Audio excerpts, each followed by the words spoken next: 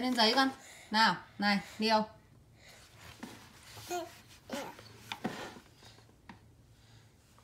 vẽ lên đây.